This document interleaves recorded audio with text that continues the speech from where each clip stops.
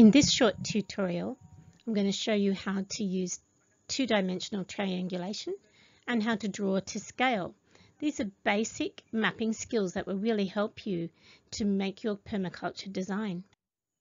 Let's look at this on a small scale. Let's say I want to map my desk. I've got a book, a glass of water and a pencil cup. So they're the three key points I'm going to try and map. I'm measuring the distance between each one. I really need to think about scale at this point because to draw it at the real size, I need a desk size piece of paper. So it's better to shrink the measurements by cutting them into half or into quarters. But today I used this formula. I took the 68 centimeters and I just thought, well, that would make 6.8 centimeters. That looked a bit small, so I doubled it to make 13.6 centimeters. So my drawing became a fifth of the original size. A little bit complicated, but it fits the paper. You choose your own formula and you apply the same formula to all the measurements. So here, let's see, this is a life-size avocado. And if I take a fifth of that avocado, I've got a drawing of an avocado or an icon of the avocado, which is a fifth of the size. So you can see I chose to work to do a sketch at a fifth of the size of my real life desk. And I thought I'd draw up the glass, the pencil pot and the book, but oops, I made a mistake because the book is in the wrong place according to the measurements I took. So how can I work out where the book should be drawn? What I do is I make arcs, or you could use a piece of string of the right length, to work out where the two measurements could join. Where do they meet? It's a bit like two dogs on a lead. They're going to keep swinging around until they can touch noses.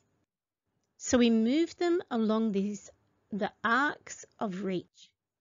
Keep following the arc and you get the meeting point. So we got the glass, the pencil pot, they're two fixed points. And now we know where the book should go. Right there. I think it looks pretty good. How do we apply this to landscape? Well, Rowena wants to put in a paddock border. But the water is running the wrong way, so she also needs to put in a swale or a keyline irrigation channel to make sure that all the plants along the paddock can grow at the same rate with the same amount of water.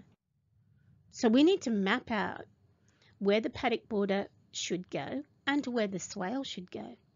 She took measurements of 21 metres from the corner of the house to a significant tree and then she also took measurements out to an area that is now a fire pit but was once a trampoline.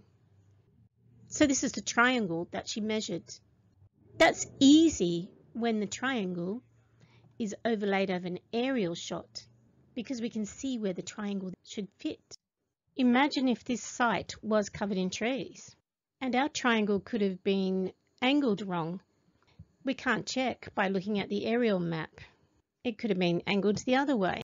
So the best way to know that you've got your triangle in the right spot is to make a few more interconnected triangles based off that one. And you will be able to map out more key elements in the design. You will end up with a web of triangles and a pretty good base map.